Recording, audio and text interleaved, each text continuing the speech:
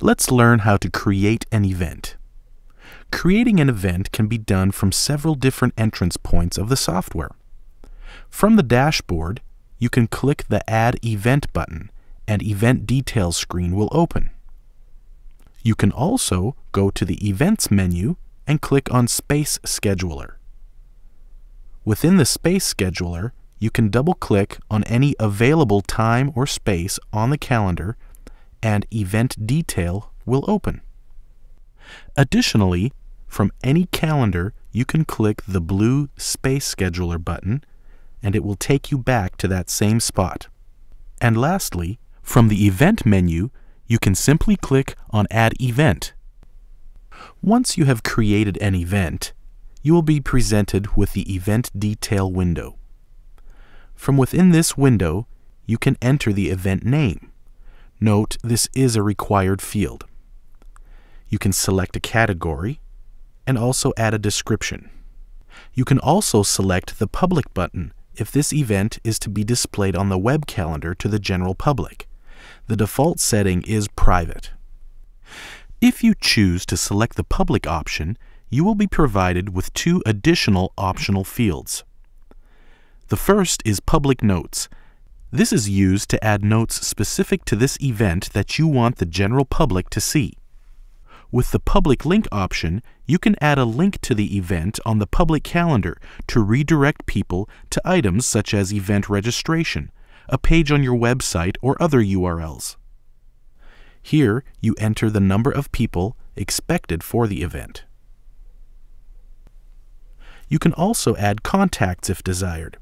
These can be people from within MINISTReSPACE or outside of the system that would need to be updated on info.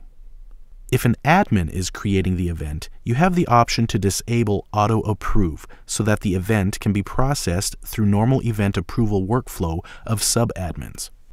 If the date has not already been selected, add the date. If you started this process from the Space Scheduler, the date will already be indicated. Enter Begin Setup if appropriate. Enter Event Start. If you started this process from a calendar view, the start time will already be indicated. Enter the event end, and then enter if there is an end teardown time if appropriate. If this is a recurring event, make the appropriate selections. Once completed, click the blue Save as Draft and Add Items button which takes you to the rest of the event creation workflow depending on your selected criteria. This would include setting up your spaces, resources, and services for this event. If you desire, you can cease the workflow and the event will be placed in the My Drafts section on the dashboard. Take note that as you select your spaces, resources, and services, you will see either a green check mark for items not in conflict or a red caution triangle. The red caution triangle indicates there is a conflict on one of your dates selected. Click Next to proceed to Resources and enter the same way as Spaces. Follow the same steps to select Services. Then follow the same process to proceed to Setup. The Setup screen allows you to see if there are any forms that need to be completed. You can also review the configuration and notes added to the event per space. You can click the green button to edit any item, including configurations, notes, and associations of resources and services to particular spaces. Select the appropriate configuration from the drop-down menu and add notes regarding the configuration of the event. Next, click the Save button. This will return you to the Setup tab, where your edited items will be displayed. Now click the Next button. This will display all of the recurring dates, the spaces, resources, and services, and whether or not they have been approved or are pending approval.